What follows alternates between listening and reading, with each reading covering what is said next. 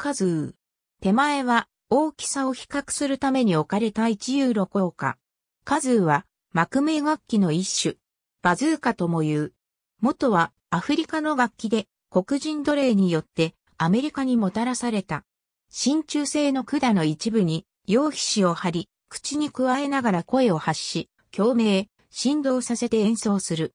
発声によって音の工程をつけることができる。ラッパ型や潜水艦型などの形があり、約500円程度の安価で買えるなど、非常に玩具的要素の強い楽器である。日本の駄菓子屋や野球場などでも、より簡易なものが、ブー的の名前で販売されている。他の楽器に比べ非常に安価で、練習をほぼ必要としない手軽な楽器であり、軽妙、滑稽な音が出ることから、特にジャグバンドやフォークの楽曲で使用されることが多い。またギターの弾き語りの際に、ハーモニカ用のホルダーによって口元に取り付け演奏する場合もある。日本のメジャーシーンにおいては RC サクセション、友久俊明、東京事変、ゆず、山崎正義等がたびたび使用しているほか、スキマスイッチもサードシングルのインストゥルメンタルで声優であるコーダマリコもシックスシングル、風が止まらないのカップリング曲、そばにいるからで、生き物係もフィフスアルバムニュートロルのセンチメンタルボーイフレンドで使用している。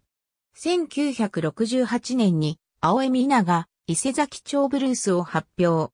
本作の冒頭の色っぽい吐息は発売当時は吐息は子供向きではない、お色気だという意見もあり、第19回 NHK 紅白歌合戦に2年ぶり2回目の紅白出場を果たした時は NHK の意向により、カズーの音と差し替えられた。クラシック音楽においては、フランスの作曲家メユールのおどけた序曲という曲が、カズーで演奏されることがあるが、本来はミルリトンのための曲である。アメリカの小説家トマス・ピンチョーンの作品には、正当的なものを茶化す意味合いでしばしばカズーが登場する。例えばビバルディが作曲したとされる幻のカズー競争曲など、もちろん、ビバルディの時代のヨーロッパに、カズーは存在しない。ありがとうございます。